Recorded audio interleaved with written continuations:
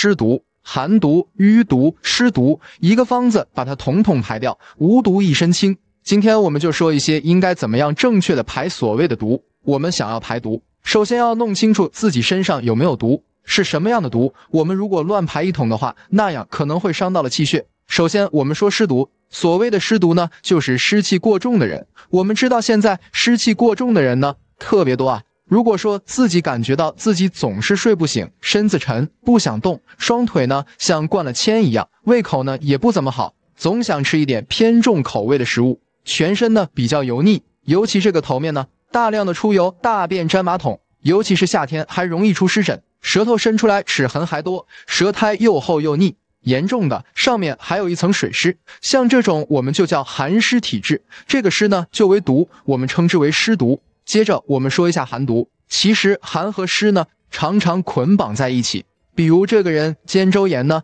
膝盖痛啊，胃痛啊，那小肚子摸上去凉凉的，吃一点生冷的东西就拉肚子。有的人是老寒腿，明天下不下雨呢，他比天气预报还准，天一阴他的腿就痛，这种就是这个寒湿的一种。还有一种是喜欢发脾气，这一种我们认为是气郁。有的人呢就偏于脾气急躁，总是闷闷不乐。平常还有耳鸣、头晕、胸胁胀满，经期还会往后错，大便时而稀时而干，总是不规律。像这种情况呢，我们认为是这气郁。还有一种毒叫食毒，所谓的食毒呢，简单的说就是积食总是吃的多，大便排的又少，长时间呢累积不消化。这种人呢，常出现这腹胀啊、胃胀啊，大便总是不爽、口臭。所谓这个淤毒呢，就我们认为是血液里面的毒素。就是因为血的流动不畅，那就是淤血。淤血的人还会长斑。如果想知道自己有没有淤血，最简单的方法就是看一下自己的舌头是不是色泽偏暗。